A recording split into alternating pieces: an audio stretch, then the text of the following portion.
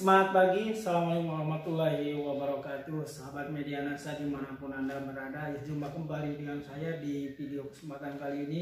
Saya akan menyampaikan informasi kepada sahabat media NASA di mana pun Anda berada Yang uh, terutama yang memberikan pertanyaan atau meminta ya bertanya uh, di kolom komentar. Jadi untuk sahabat media NASA ya silahkan saja nulis di kolom komentar gitu ya.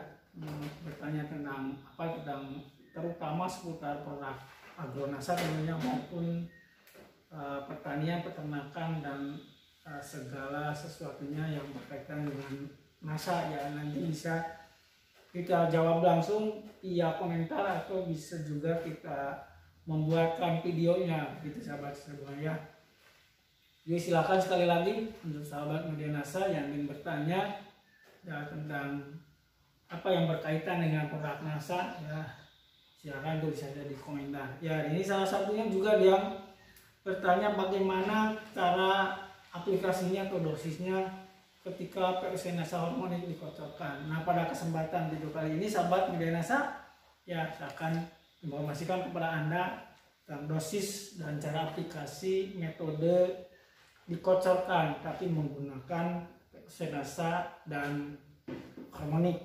Ya, dan hormonik Ya baik langsung aja sahabat media nasa di mana pun anda berada ya jangan lupa yang belum like ya komen share juga ya subscribe yang belum ya silakan untuk mendukung keberlangsungan channel ini silahkan share ya seluas luasnya sahabat media nasa ya.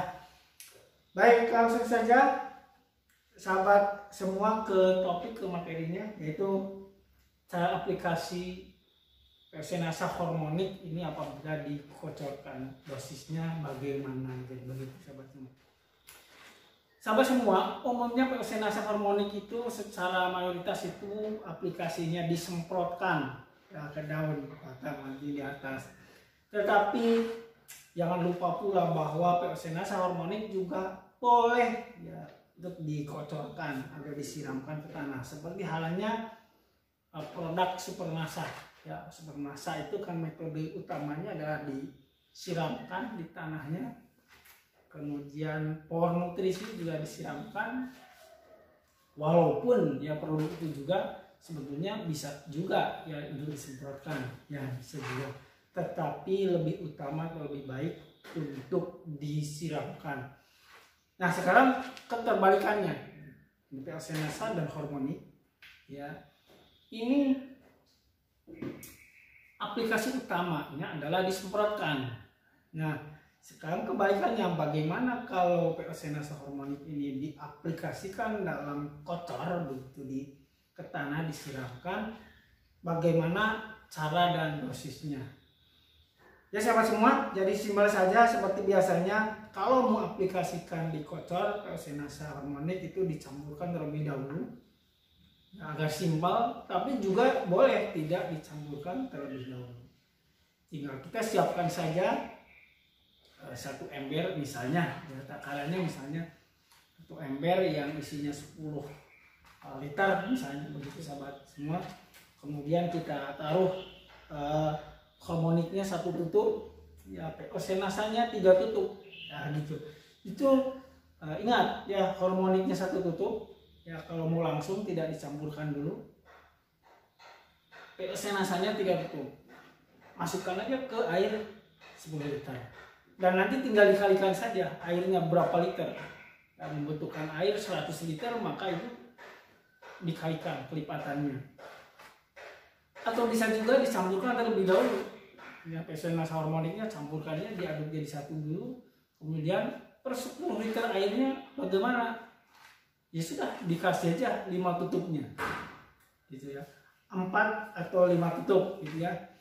E, minimalnya sebetulnya tidak ada batas apa namanya batas maksimalnya tidak ada. Itu tergantung e, tergantung kita ya budget kita. Karena sifatnya lebih banyak lebih bagus kalau produk kita ini ya. Produk e, NASA ini lebih banyak e, dosisnya lebih bagus tetapi paling tidak standarnya standar bawahnya itu harus kita garis bawahi ya. Nggak tutup. Tadi misalnya ini untuk 10 liter ini satu tutup kita campurkan dulu ya boleh empat tutup atau lima tutupnya. Gitu. tapi seminimal minimalnya tiga tutup. Ya begitu hasil dari campuran misalnya dicampurkan dulu ke senasa harmoniknya itu tiga tutup empat tutup gitu ya per 10 liter dan kelipatannya nah nanti sebetulnya eh, ukurannya takaran standarnya akhirnya per hektar kita ngitungnya per hektar. Jadi per hektar misalnya luas lahannya satu hektar Senasa hormonik itu mau diaplikasikan metode siram itu tinggal 6 liter saja.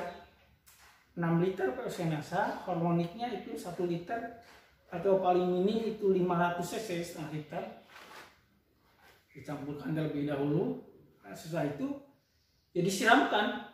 Ya pakai gembor gitu pakai uh, semacam ceret gitu, gembor. Itu sebenarnya aplikasinya atau dosis uh, ukuran standarnya bisa dipakai itu.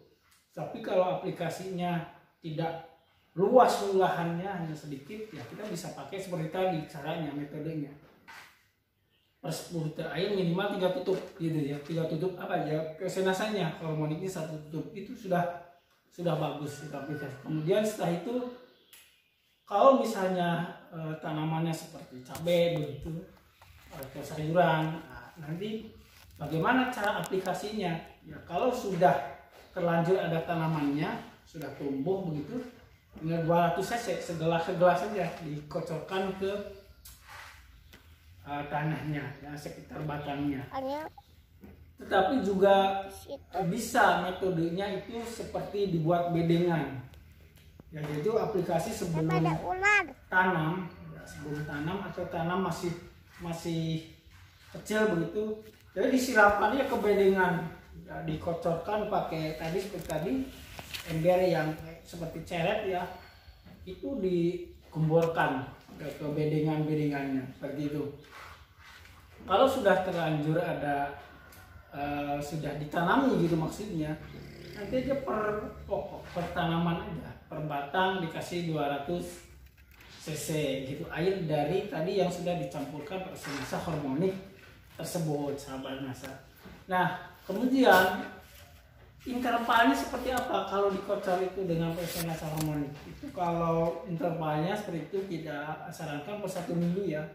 Per satu minggu atau 10 hari itu ada pengocoran. Kalau dengan metode nasa harmonik tadi. Tetapi beda lagi dengan pengocoran dengan metode super nasa misalnya itu bisa intervalnya bisa agak agak jauh gitu. Intervalnya agak jauh. Kenapa demikian? Karena memang uh, kandungan unsur yang ada di super nasa memang di apa namanya memang desain gitu, untuk di tanah gitu untuk disiramkan sehingga tentunya keoptimalannya lebih ya kalau super nasa itu dikocorkan nah beda lagi dengan nasa dan harmonik itu dikocorkan tentunya nah, kalau dibandingkan super nasa tadi dia harus lebih agak sering gitu ya. Nasa harus lebih sering dibandingkan super nasa kalau memang menggunakan metode super nasa tapi hasilnya insya Allah luar biasa sama-sama luar biasa hasilnya. Nah sahabat semua eh, kita perlu sampaikan juga bahwa nasa maupun super nasa ya untuk standar-standar eh, dosis itu tak perlu khawatir gitu sebetulnya. Ya tak perlu khawatir overdosis keracunan kebanyakan nggak perlu khawatir. Jadi kita juga bisa membuat aja kita gitu membuat standar sendiri itu boleh juga. Seperti halnya saya ya ada tanaman beberapa tanaman karena kita uh, jujur kita bukan pekebun ya kita bukan budidaya. Jadi kita hanya uh, di sini hanya uh, teori kita memberikan teori-teori cara penggunaan. Kita juga memiliki beberapa tanaman itu kita menggunakan standar sendiri aja gitu karena apa? Karena teknologi ini aplikatif. Ya, teknologi NASA itu aplikatif sahabat semua. Jadi tidak ada kesalahan gitu, dalam cara aplikasi. Ini ya seperti itu. Misalnya tadi mau dikocorin aja, eh, kita kasih 10 tutup itu per 10 liter itu boleh boleh silahkan saja. Tetapi mungkin di dalam kosnya ya, agak boros kan itu. Itu resiko eh, ya kita sendiri itu. Tapi standar bawahnya sekali lagi standar paling rendahnya paling tidak 10 liter itu kasih 3 tuh itu minimalnya saja menjadi ukuran. Kalau batas maksimalnya itu silahkan itu disesuaikan dengan budget yang ada. Nah seperti itu sahabat semua. Juga produk-produk yang lainnya sumber nasa uh, power nutrisi dan lain-lainnya. Kita juga ada kan pupuk cairnya yang model tandur gitu ya. Ada lagi Uh, selain PSN juga ada kan pupuk cair tandur. Juga ada cair hayati ya seperti tangguh juga ada. Intinya sama ya sama artinya jangan khawatir ketika menggunakan produk NASA ini ya sama semua di mana pun anda berada tanaman apa pun jangan khawatir uh, kelebihan dosis gitu. Karena sifatnya semakin banyak dosisnya justru semakin bagus. Nah demikian informasi dari saya sahabat semua semoga menjadikan pencerahan ya dan menjadi informasi yang menambah hasanah wawasan uh, sahabat semua di mana pun anda berada. Sekali lagi bahwa uh, produk NASA setelah menggunakan produk NASA jangan jangan lupa ya uh, pupuk kimianya dipakai ya pupuk kimianya dipakai. Kenapa karena produk NASA ini uh, unsur mikronya ya, yang lebih dominan. Jadi Eh, tanaman itu membutuhkan makro dan mikro. Sementara produk masa ini mikronya yang dominan. Nah, jadi makronya tetap nah, kita sarankan tetap gunakan dan untuk mendapatkan pupuk kimia sekarang ya kita tahu sendiri ya pemerintah ini ada peraturan bagaimana kita mendapatkan pupuk itu misalnya dengan harga subsidi mulai ya kita ikut saja ya prosedur yang ada ada pemerintahan jadi kita daftar ya ada kelompok tani ada kartu tani dan lain sebagainya untuk mendapatkan pupuk. Ya kita itu ikuti itu agar supaya mendapatkan pupuk lebih mudah ya untuk mendukung upaya-upaya kita untuk uh, berhasil dalam pola-pola budidaya. Ya demikian informasi dari saya sahabat semua. Semoga bermanfaat dan menjadi informasi yang edukatif. Ya sekian dari saya. Assalamualaikum warahmatullahi wabarakatuh Semangat pagi.